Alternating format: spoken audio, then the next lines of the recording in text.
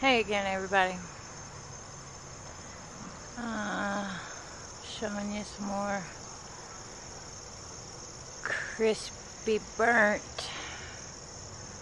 greenery. This is the edge of the herb garden.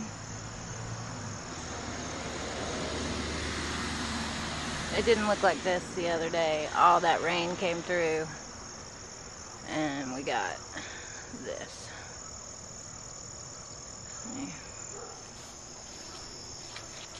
Right on this side is the echinacea flowers. Look at these petals.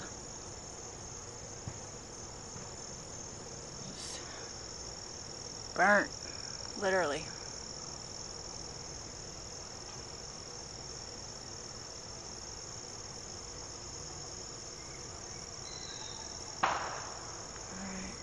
Take care.